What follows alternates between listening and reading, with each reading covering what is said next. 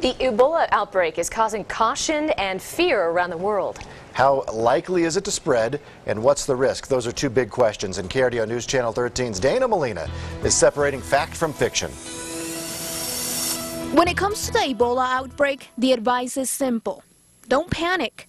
You're not likely to get it. People pretty much have to be showing active symptoms in order for you to catch this type of disease. You have to have close contact. It's not like the flu, it's not like the cold that you can be in the same room and catch. Instead, Ebola, you pretty much have to have contact with body fluids or the body itself. Even if someone's coughing or sneezing, if you're in the same room, you really don't have much to worry about. But if they're happening to cough and sneeze on you, that's when the concern goes a little bit higher. But if the risk is low, then why are we seeing these workers heavily geared up with hazmat suits? That's a cleanup crew. So they're going in to clean up those messy areas, they need to be very careful. There were a lot of body fluids left over there. Now, the virus can't handle being outside the body for very long, but if it's inside body fluids, and we're talking if somebody has diarrhea, if somebody vomits, bloody vomit, that type of thing, those body fluids themselves are going to have the virus in it, and that can stick around a long time. Another common misconception is that Ebola is or will become airborne. There's there's no evidence to suggest it's going to get airborne,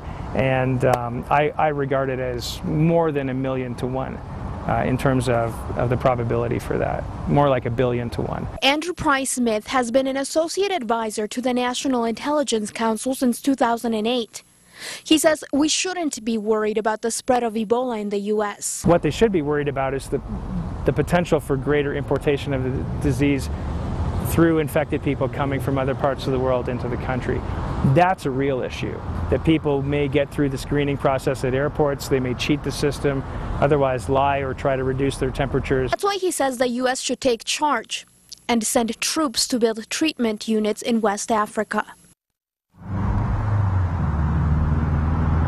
Now, both Dr. John and Price Smith say that Ebola probably won't spread to the rest of the country or that it'll ever reach Colorado. Still, as we told you last week, hospitals here in the area are ready in the rare case that that would happen. Live in Colorado Springs, Dana Molina, KRDO News Channel 13. Thanks so much, Dan.